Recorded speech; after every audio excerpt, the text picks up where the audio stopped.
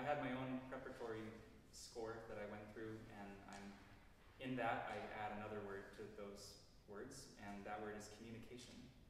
Um, you know, um, is there another word from one of you that um, I can uh, draw from in this piece?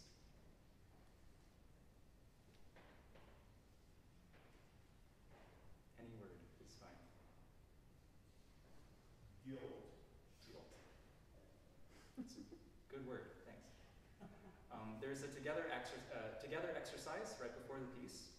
Um, the together exercise begins um, in that uh, I'd like to invite those who are able to stand up and, if possible, to close or look down, uh, close your eyes or look down, but you can all rise if you're able. And no one is obliged to participate. If you want to sit down, that's fine too. Now let's all um, inhale for six seconds through the nose and exhale six seconds, six seconds through our lips.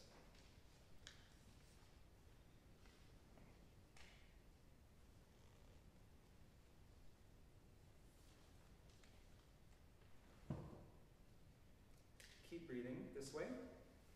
And imagine a place that you would really like to be in right now.